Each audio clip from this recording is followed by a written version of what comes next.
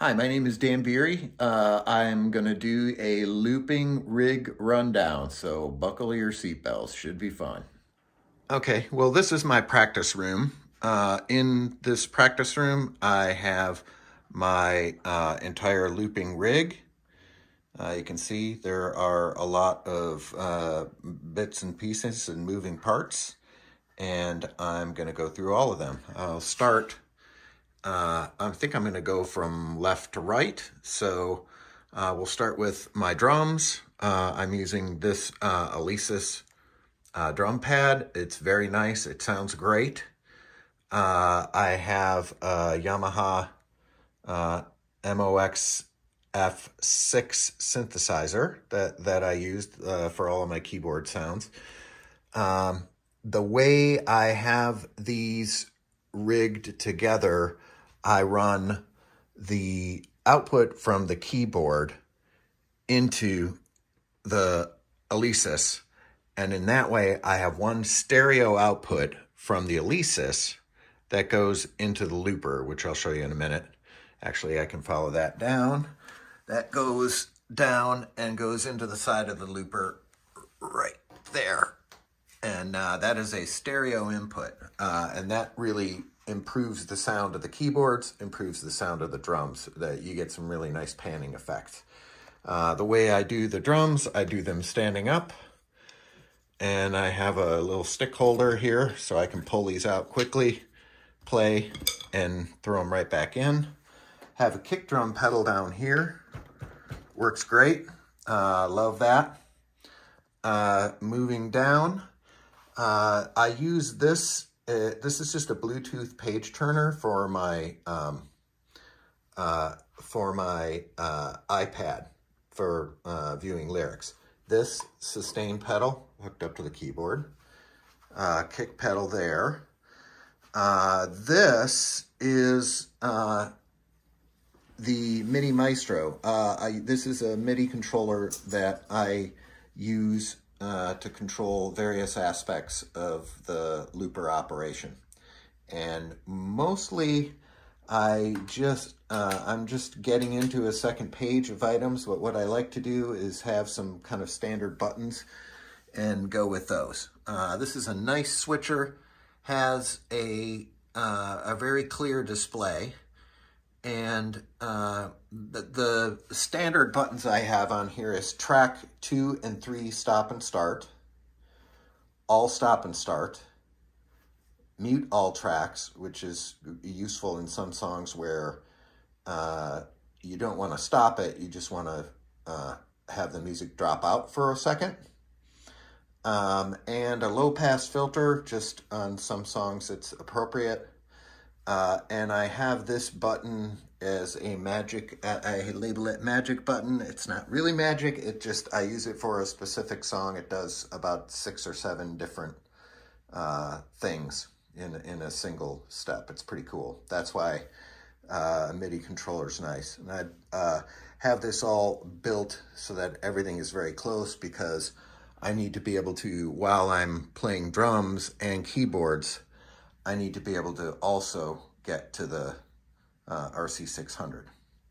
Uh, immediately to the left of the RC600 is an expression pedal.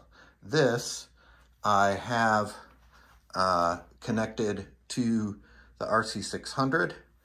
Um, I have it set up to control the, the uh, level for uh, the vocal echo.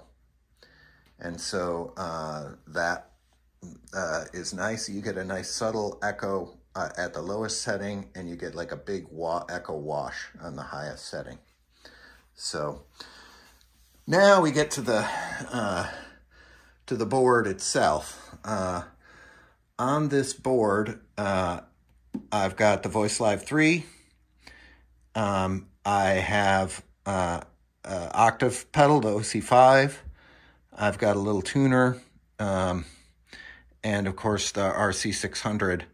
Uh, and everything is uh, everything is pretty tight. I, am using a Holeyboard uh, for it. I, I, find it it's it seems to work great, so I'm pretty happy with it. Um, the octave pedal, I have the guitar output go into uh, one channel, one mono channel on the RC600, and I have it EQ'd in a certain way.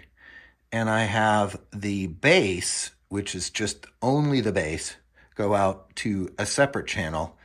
And I have that EQ'd and I have effects on it uh, to give uh, the bass to make the bass sound great. This pedal is pretty cool. You can play guitar chords on it and only the, I have it set so that the uh, lowest, uh, uh, only the lowest note is impacted by the octaver. So um, that's great if you're playing big guitar chords. Uh, that it basically sounds like you have a bass line playing along with you, which is really kind of cool.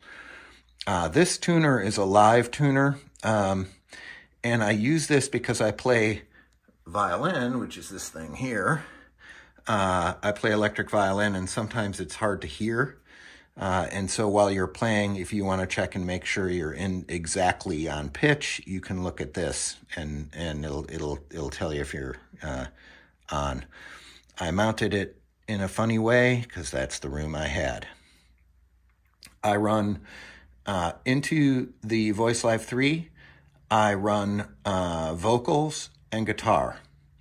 And uh, they then go out of the VoiceLive 3 into separate mono channels on the uh, the RC600. Uh, on this side of my board, I have uh, this is the input for a stereo input for uh, the keys and the drums. The, this is uh, output, uh, stereo output to the my in-ear setup, my Shure in-ear setup. Uh, and I have a spare output output over here in case I need it, and it's stereo, and it's just uh, quarter inch stereo uh, plug. So um, moving, I guess, back this way, I have, uh, these are my wireless units. So I've got uh, wireless for uh, vocal mic that my wife uses for singing. So it's just a handheld mic. Uh, this is the vocal uh, uh, wireless unit for my mic, which is a uh, headset mic. So uh, the great thing about this is I can use this uh, while I'm playing drums. I can use it while I'm playing keys. I can walk around with it. Uh, my wire, uh, my guitar is wireless also. This is really handy for when I'm switching between instruments. I can be singing while I'm switching between instruments. Very hard to do when you have to push your face up on a mic. Uh, so uh, this is the guitar wireless. Um, and uh, this whole unit uh, I call the football. Uh, and it actually travels in this box and it sits up above here so that in case I need to adjust any of the levels, I can. Um, and what all I do is I pull it out of the box and I plug the vocal in here and I plug the guitar in there. Uh, I went to quarter inch because it was easier. This thing has quarter inch, you know, the, the wireless setups all have quarter inch out. It just made it very easy.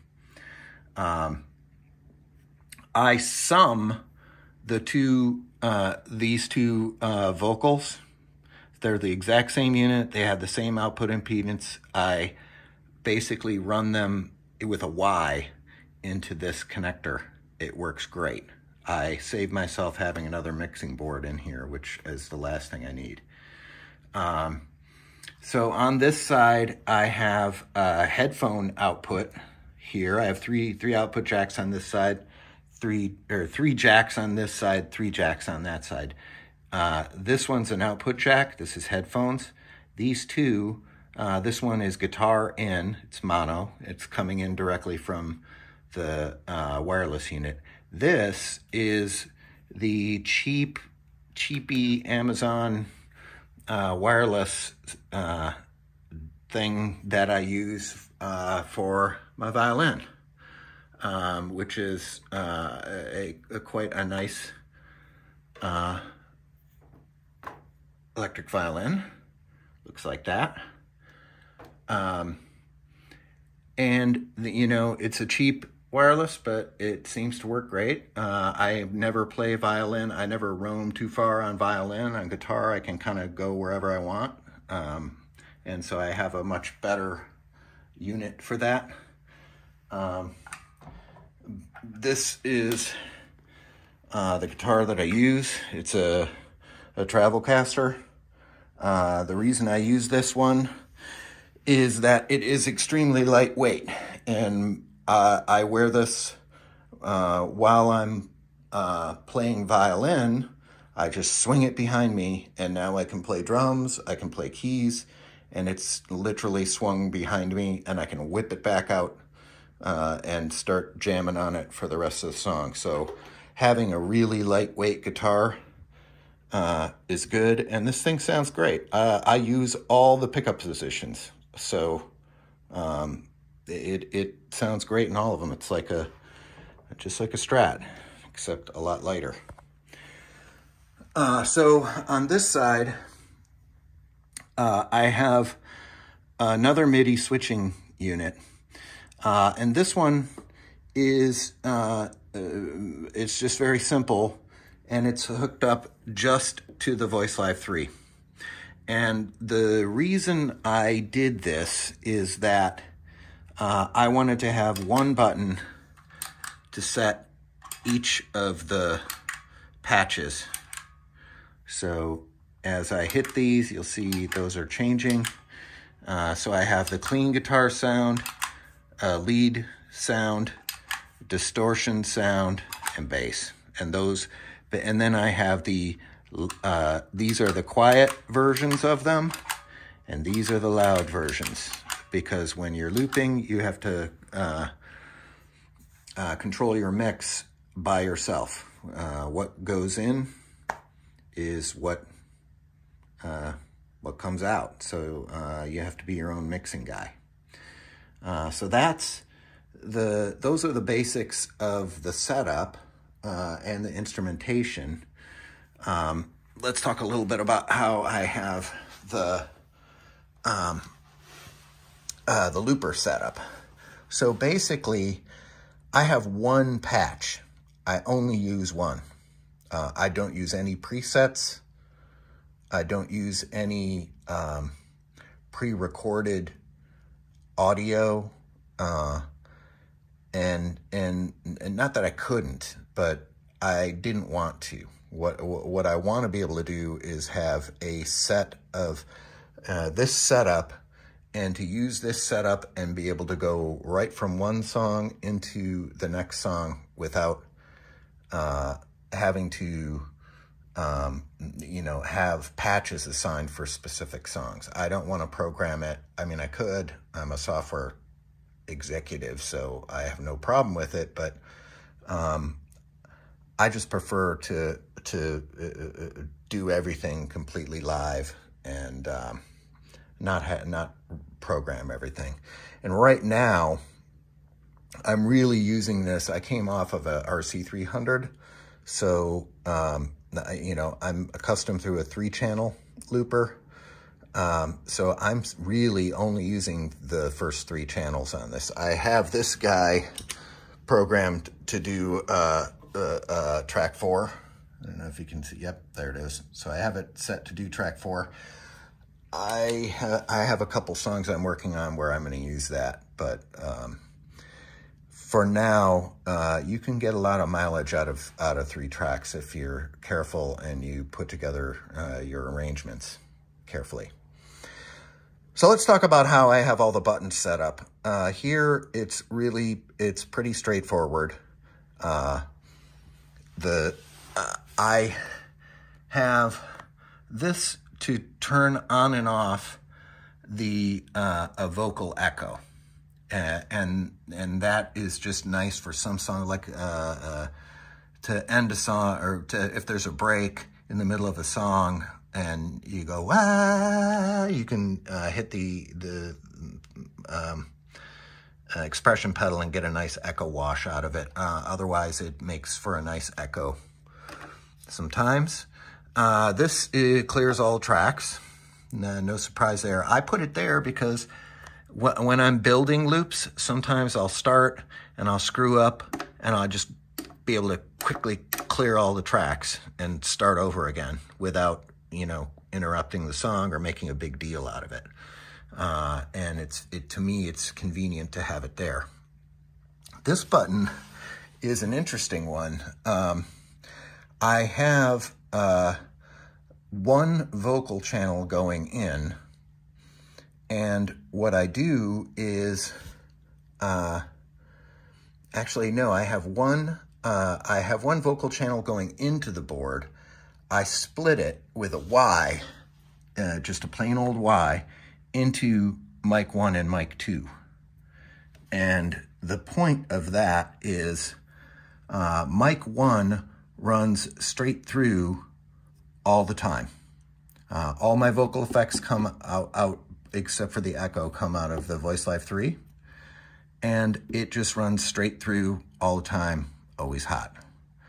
Uh, when, uh, and mic, and it, it's wide into mic 2 and mic two, uh, uh, mic one is routed so that it never goes into the uh into the looper. It's excluded from uh, recording on any tracks.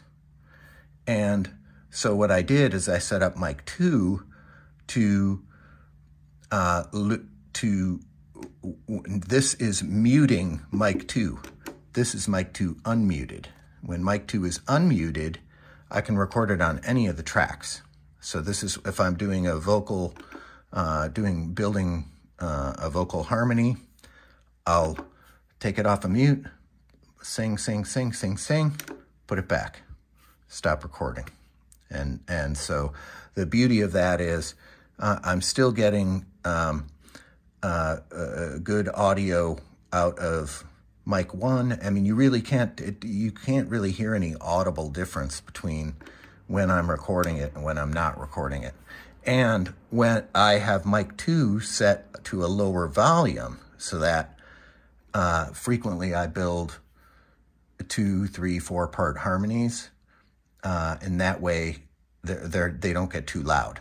So uh, I'm, if I recorded mic one, it would it, it quickly get way too loud. So I have this down to, you know, like, I don't know, 70 or 80% on, mic two.